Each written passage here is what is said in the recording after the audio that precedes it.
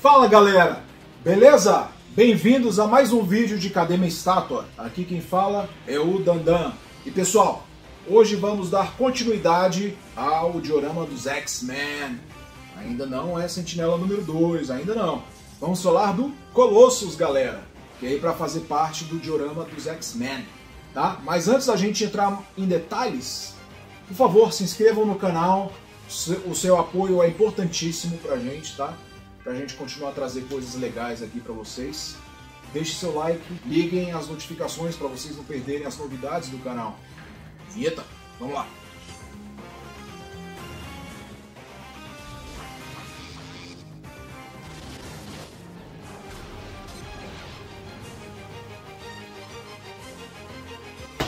Aqui, voltamos, galera. Então, cara, tem tempo, né? Unboxing e review das caixas, das coisas aqui. Tem tempo que a gente não faz unboxing. Aliás, não sei quando esse vídeo vai ao ar, mas tem tempo. Vamos tirar da caixa, né? Depois eu conto a história do Colossus. Vamos pro unboxing.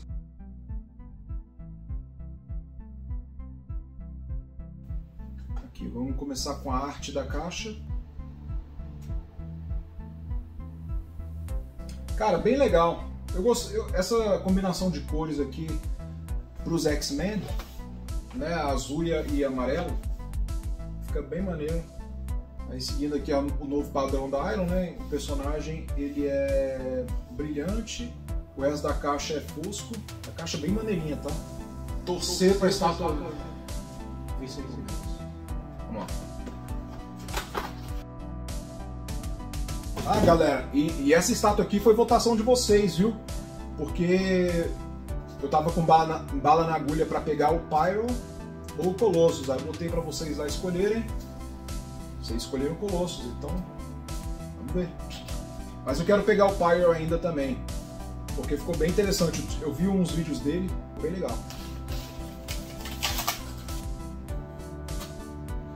aqui, ó. Se eu tô vendo direito, acho que vem duas peças só, tá? Vem a base e o Colossus. Então aqui, a base e o Colossus.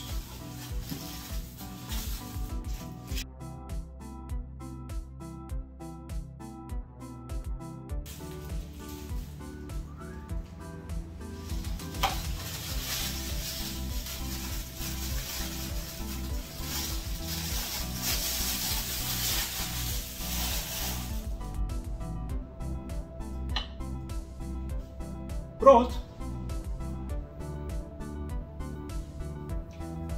E a montagem fácil, tá?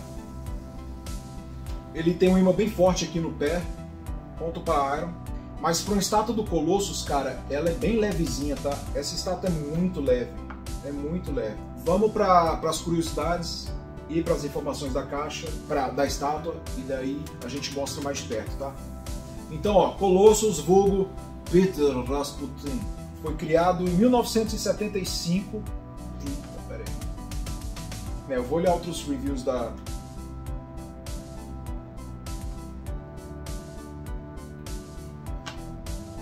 Foi criado em 1975, tá?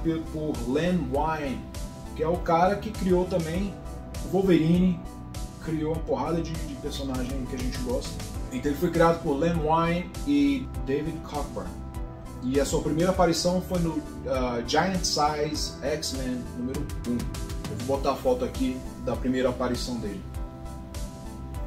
Então vamos lá, ó, ele tem uh, 29 centímetros de altura, tá?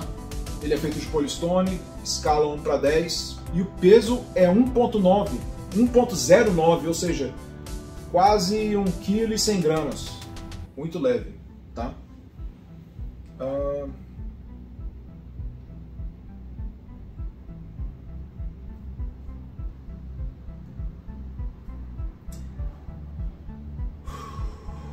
É, esse diorama aqui vai requerer muita paciência de mim, cara.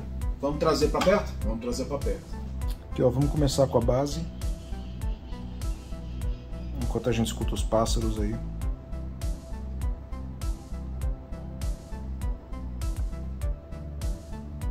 Aqui, ó. Por enquanto, aqui eu tô olhando para a base da sentinela. Não combina com a primeira sentinela, tá? Você botar do lado assim, por exemplo, acho que vai ficar melhor.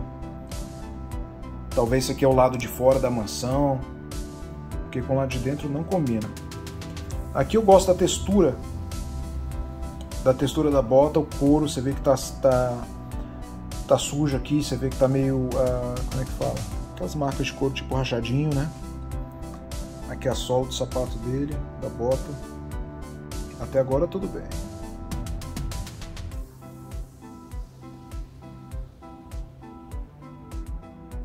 Aqui a musculatura dele.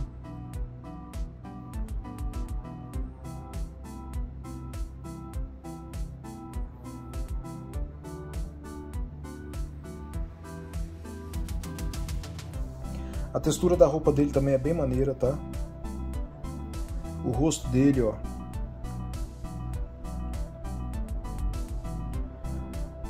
Mas então, pera aí, vamos começar, vamos mostrar a estátua inteira aqui.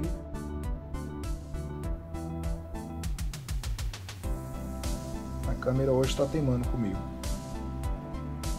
Bora, rapaz. Aqui ele tá pegando a parte da sentinela. Tá pegando a parte da sentinela aqui e tá jogando provavelmente na sentinela de novo, né? Para derrotar a galera. Mas então, aqui ó, pela câmera, vamos falar. Eu acho que essas tintas cromadas, cara, é é meio já que pedir dor de cabeça, tá? Vamos lá. Ou aqui essa já, eu já vi altos descascamentos aqui, aqui no, no cotovelo dele. Tá descascado. Ah, no braço aqui também tá descascado.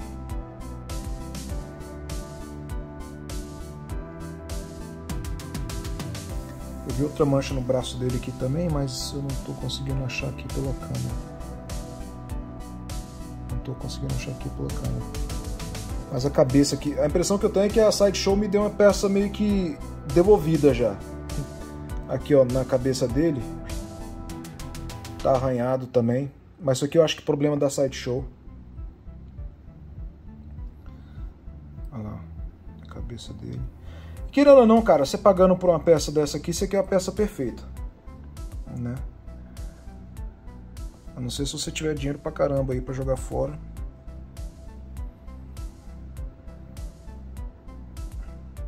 Olha lá aqui, ó. Aqui. E de novo, galera, nós como consumidores, a gente tem que reclamar mesmo. Porque dinheiro não dá em árvore. E a galera não pode cagar no pau. Então a empresa só melhora se reclamar, cara. Se achar que tá tudo bem toda hora, é, Aí a empresa acha que tá tudo bem toda hora. Aqui a parte da sentinela.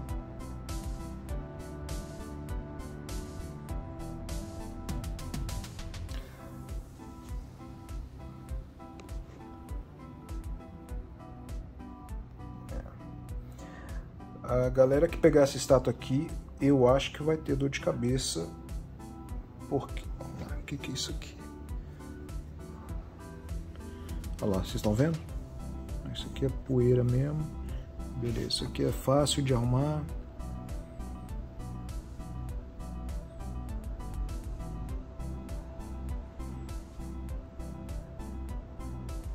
Lá no sovaco dele também, arranhado. Então, cara, eu não sei se a Sideshow me deu uma peça usada ou se isso aqui foi erro de qualidade de controle. Aqui também de novo.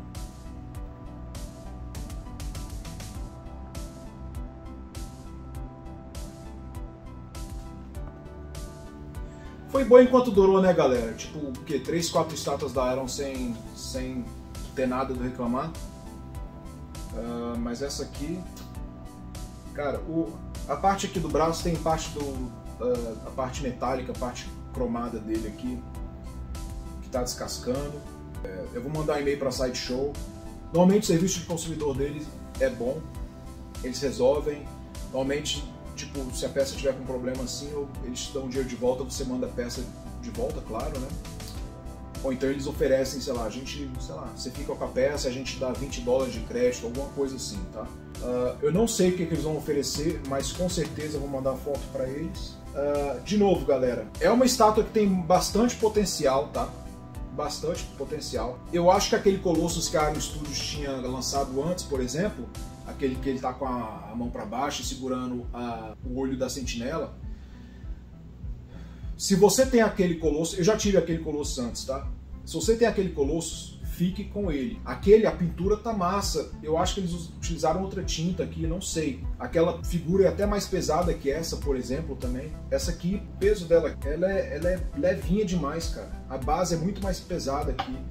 Então, assim, ela deve ser toda oca. Não sei, cara. Eu não sei. Uh, vamos dar nota pra isso aqui, né? Cara, esse colosso aqui eu vou dar nota Nota 6. Nota 6. Porque a tinta tá descascando. É uma, uma estátua que tinha muito potencial. Eu tava animado com esse, com esse Colosso aqui. Tanto é que eu tinha, já tive três estátuas do Colossus, vendi todas, porque eu vi essa aqui, tá? Antes até de pegar a Sentinela. E eu tava animado, cara. Eu tava animado. Agora, sei lá o que que eu tô. E é, e é leve, cara. Essa aqui é. A Iron tá, tá barateando alguma coisa aí, sei lá e tá aumentando o preço das coisas. Cara, essa estátua aqui custa 190 dólares, cara. 190 dólares. Tem estátuas antigas deles que custavam mais barato e tinham muito mais qualidade, cara. Pô, uma estátua dessa aqui pesar um quilo. Pesa um quilo. Colossus. Pesar um quilo. Cara, pelo menos tem imã, né? Eu vivo reclamando do imã e tem imã aqui. Não vou nem falar se tem o selo Achei Minha Estátua. Né? O cabelo lascado aqui, com, com marca de. Tô até com medo de passar a unha e destruir mais o negócio. Tipo assim, cara, se fosse. Aí nego pode falar no comentário, ah, mas ele tá lutando contra a sentinela. Cara, pode até ser. Mas aí, pô, faz na estátua inteira, né? Bota danos na, na estátua inteira. Né? Pra pelo menos, pô, ele tá marcas de guerra, né? Ou, ou alguma coisa assim, porque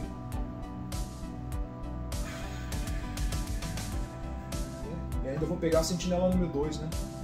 Torcer pra, pra vir direito esse negócio. Galera, é isso aí. Perdi, perdi vontade de ficar falando de estátua nesse exato momento. Muito obrigado, Colossus. Ah, então, de novo, galera, se vocês tiverem o outro Colossus, esse aqui não, se tiverem o outro original lançado pela Iron, fique com ele. Não pegue isso aqui. Fique com Colossus que vocês têm tá? A pintura tá melhor, o acabamento tá melhor. Eu tive aquele colosso por mais de ano, a pintura não descascou. Veja aqui, já vem descascado de fábrica e 190 dólares, cara. Isso aí vai chegar no Brasil por mil reais. Não vale mil reais. Não vale mil reais. Pega um cotobuquia, pega um, qualquer outra coisa, cara. Mas não vale mil reais. Isso aqui é peso de papel. Tá? O peso que tá isso aqui é, é peso de papel. Muito obrigado pela audiência. Cadê minha estátua? Essa aqui, não sei para onde vai. Valeu, galera.